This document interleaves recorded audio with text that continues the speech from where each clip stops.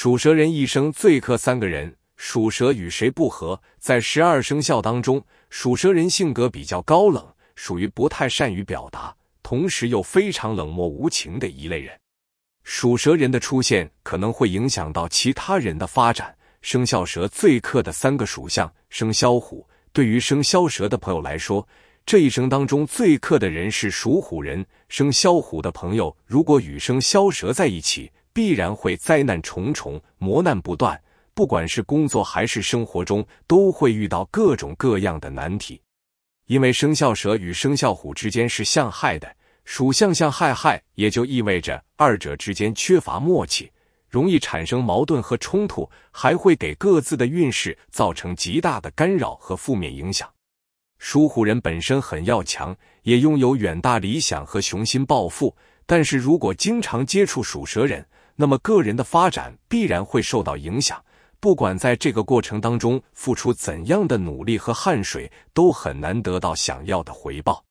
所以建议属虎人平时应尽可能的远离属蛇人，尤其在选择合作伙伴的时候，更要避开这个属相，否则未来的发展之路将会充满波折，就算付出再多的努力和汗水，也难以得偿所愿。生肖猴在十二生肖当中。生肖蛇与生肖猴也是彼此的天敌。属猴人本身性格比较开朗，属于大大咧咧、没心没肺、不喜欢为琐事斤斤计较的人。但是属蛇人性格相对来说有些内向，而且特别悲观，总是喜欢无端揣测别人的用意。由于二人性格差异比较大，所以他们之间很难产生默契和共鸣，而且在许多事情上都会产生分歧和争执。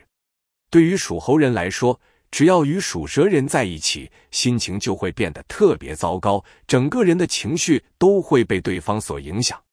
再加上二人属相不合，属于敌对的关系，所以对方的出现必然会给属猴人的各项发展都造成干扰和冲击。所以建议属猴人也要尽可能的远离属蛇人，不管有什么样的想法或者是计划，都不要告知对方。否则，这些计划很难顺利进行。生肖猪对于生肖猪的朋友来说，遇到属蛇人也是一场灾难，因为生肖蛇和生肖猪犹如天敌一般，二人水火不兼容。虽然在日常生活中可能并没有太多的矛盾和分歧，但是却难以和谐相处，在人生的道路上会互相干扰、互相牵绊。尤其从婚恋的角度来看。属猪人最忌讳与属蛇人结婚组建家庭，二人的结合对双方来说都是非常痛苦的事情。他们的婚姻关系极其不和谐，将来很容易被第三者入侵。属猪人和属蛇人各有各有的态度和想法，在遇到意见不合的情况时，总是会针锋相对，谁也不肯做出让步和改变。而这样的情况只会让他们的关系越发紧张。还会给其他家庭成员带来无尽的伤害和痛苦，所以建议属猪人平时不要与属蛇人有过多的交际，不管是选择婚恋对象还是结交朋友，都要避开生肖蛇的人。其实生肖运势的高低是所有人都无法去操控的，唯有修行自身的智慧是趋吉避凶的唯一法则。在这里也分享一篇文章。希望各位有缘的朋友能静下心来，好好的读一读，也许能给你一些简单的领悟或心灵的沉淀。相信这对你未来的运势会有很大的帮助。从降生于世的那一刻开始，每个人都在寻找活着的价值和意义。早年还未懂事，父母怎么说我们就怎么做，反正也轮不到我们选择。成年之后。该进修的进修，该打工的打工，要为了生存而努力下去。到了而立之年，每个人都走到了一个分岔路口，到底是结婚生子，还是单身一辈子呢？在父母亲戚以及一众朋友的劝说下，我们还是结了婚。其实有很多人都娶嫁了自己不喜欢的另一半，糊里糊涂就承担起了巨大的家庭责任。至于孩子，生他们之前还未觉得压力和责任重大，生了之后才发现他们是吞金兽。过了十来年，人到中年的我们会面临诸多的危机和问题。比如说失业危机出现了，家庭关系危机出现了，健康危机到来了，一切危机都让我们觉得生活不易。不论有没有想通活着的意义，每个人都只能坚强活下去，哪怕活得如行尸走肉一般，也只能坦然接受。一位七零后的新生，忙碌大半生，感觉白活一场。年近五十岁的刘先生望着身边人。再想想逐渐奔五的自己，他产生了一个疑惑：自己忙碌多年，到底是为了什么？有什么价值呢？让他产生这种想法的是上一年的一次经历。在上一年，他的某位长辈去世了。那位长辈是他家族当中比较有钱的人，一辈子辛苦赚钱，最后没有享受过，就匆匆离开了。在送别那位长辈的时候。他一直在想，在时光面前，每个人都只能匆匆逝去。那人们如此艰难的活过这一生，真的就有意义吗？过了两个月，刘先生发现那位长辈的家人早就把那位长辈忘了。该工作的去赚钱，该娱乐的去放松，该读书的去学习。过年的时候，刘先生遇到了这个家庭的小娃娃，那小娃娃七岁。是那位长辈的孙子，他问了这个小娃娃一个问题：“你还记得你的爷爷叫什么名字吗？”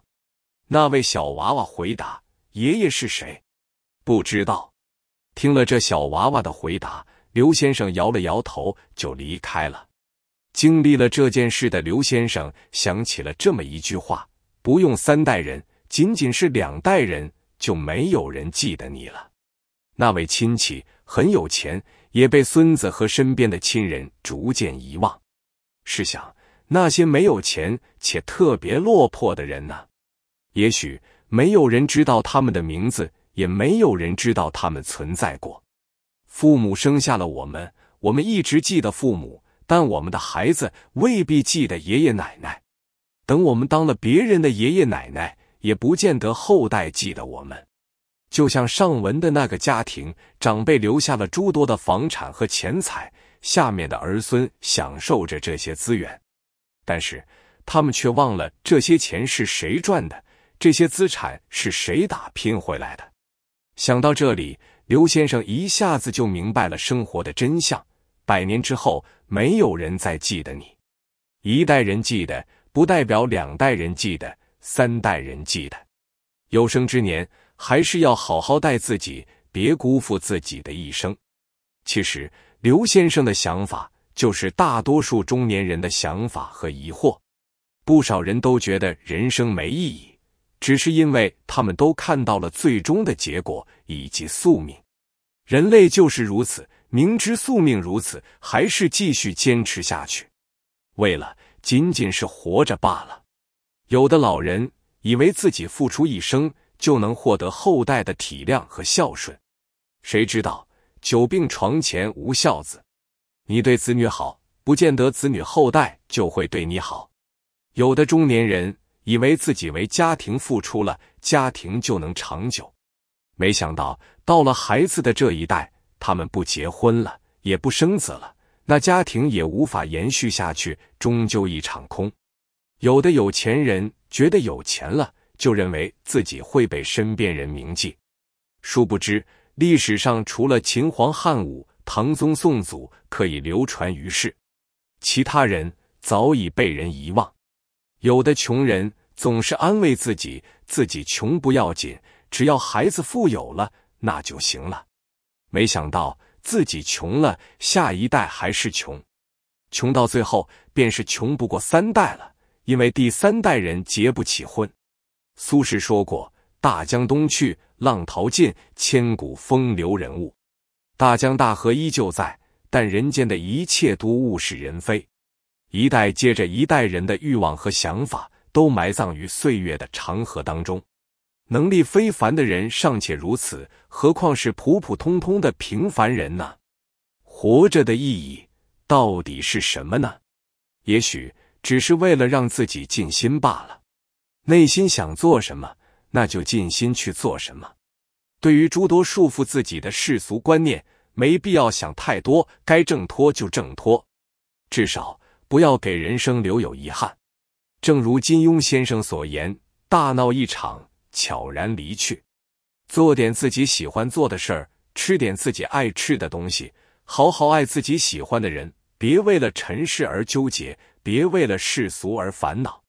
只此一生，若不尽心，才是缺憾。”以上分享就到这里。天道酬勤，要记得，机会永远是给准备好的人。